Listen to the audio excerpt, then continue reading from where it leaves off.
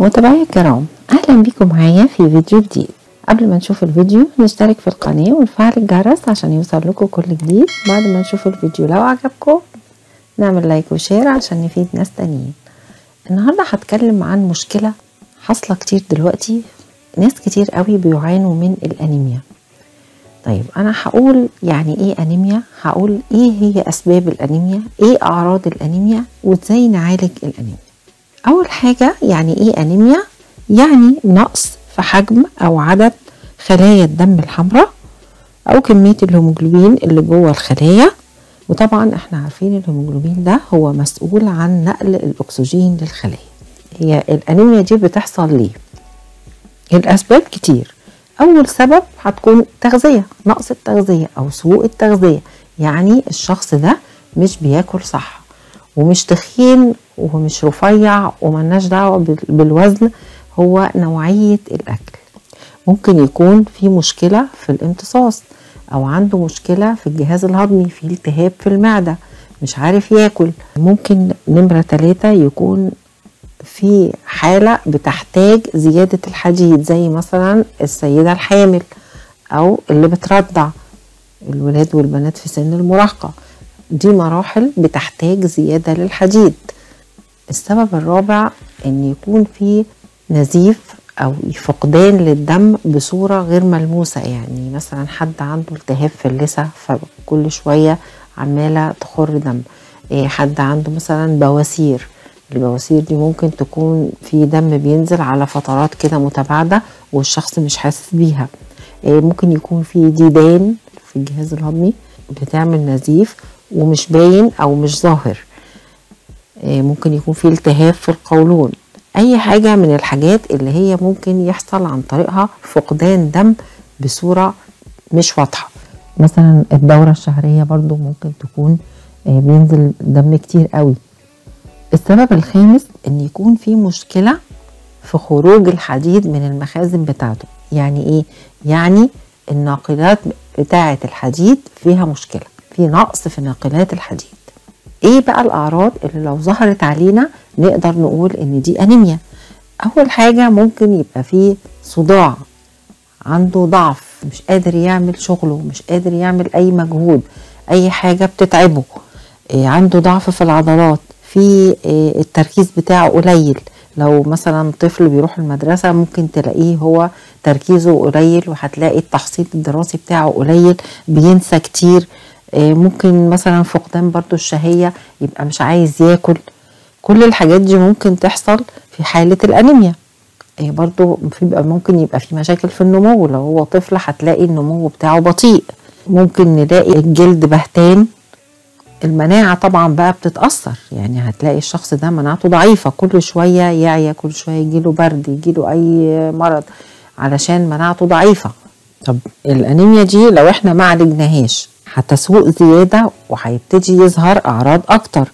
هتبص بقى تلاقي اللسان بدأ يظهر عليه أعراض بقى بدأ يحمر بدأ يبقى فيه التهاب يبقى ناعم كده اللسان المفروض بيبقى خشن.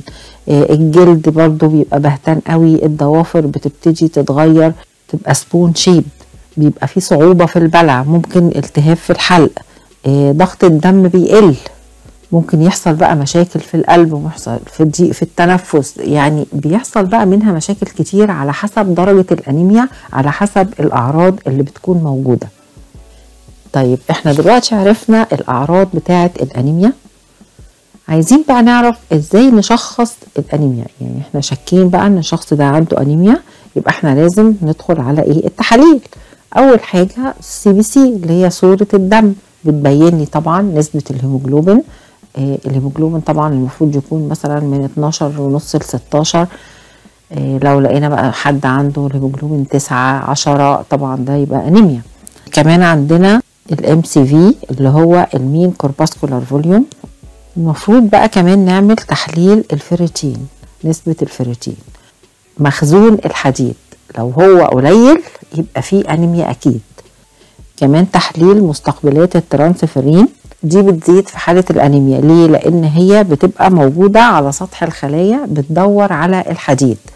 فبتزيد لو الشخص ده عنده أنيميا. نيجي لمرحلة العلاج.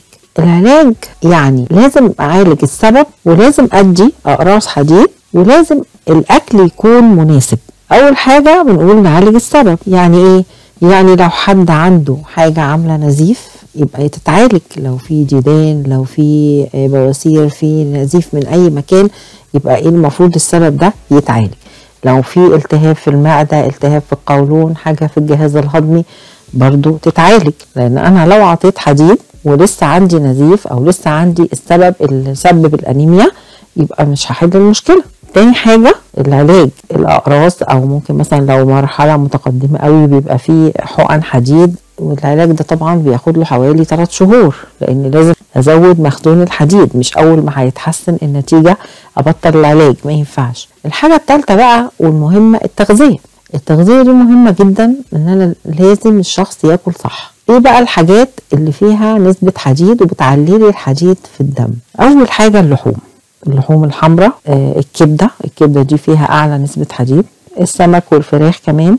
اللحوم ميزتها إن هي الحديد اللي موجود فيها حديد حيواني. الامتصاص بتاعه عالي وما بيتأثرش بأي حاجة عكس الحديد النباتي. مثلا الخضروات زي السبانخ البقدونس البروكلي الحاجات الخضراء دي كلها فيها حديد بس الامتصاص بتاعها مش عالي. في حاجة اسمها ال bioavailability يعني لو خدت حديد حيواني الكمية اللي موجودة دي بتمتص بنسبة عالية جدا. لو خدت حديد نباتي بيمتص بنسبة بسيطة حوالي 15% من الكمية اللي أنا خدتها. كمان بيتأثر بالإيه الشاي والقهوة والحاجات دي ممكن تأثر على امتصاصه. هنقول في الآخر الحاجات اللي بتعلي امتصاص الحديد والحاجات اللي هي بتقلل امتصاص الحديد اللي هي عدوة الحديد. برضو من الحاجات المهمة اللي فيها حديد الحبوب الكاملة والخبز فيهم حديد. البقوليات الفول والعدس والفاصوليا البيضاء والحاجات دي برضو فيها نسبة حديد عالية.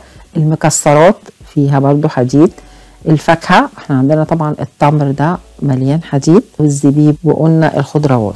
آه الحديد في حاجات بتساعد على امتصاصه وفي حاجات بتقلل امتصاصه. إيه اللي بيساعد على امتصاص الحديد؟ فيتامين سي. مهم جدا فيتامين سي وبنحاول إن إحنا لما ناخد حاجة فيها حديد ناخد معاها ليمون برتقانة يوسفندي آه حاجة فيها فيتامين سي. كيوي الزنك برضو من الحاجات اللي بتزود امتصاص الحديد. عكس الكالسيوم الكالسيوم بيقلل امتصاص الحديد عشان كده إحنا بنقول ما ناخدش حديد مع كالسيوم. من الحاجات اللي بتقلل امتصاص الحديد الشاي والكافيين القهوة الشوكولاتة المياه الغازية كل الحاجات دي بتقلل امتصاص الحديد. يبقى التغذية السليمة مهمة مع العلاج. وأول حاجة طبعا علاج السبب. يبقى إحنا كده اتكلمنا عن أسباب الأنيميا وأعراضها والعلاج. طبعا الأنيميا ما بتبقاش نقص حديد بس فيتامين ب 12 مهم وال folic acid مهمين. يا رب تكونوا استفدتوا ولو عجبكم الفيديو اشتركوا في القناة وفعلوا الجرس عشان يوصل لكم كل جديد واعملوا like و share عشان نفيد ناس تانيين عايزين نوصل الفيديو لألف like. وفي النهاية بشكركم وأشوفكم في فيديو تاني إن شاء الله والسلام عليكم ورحمة الله وبركاته.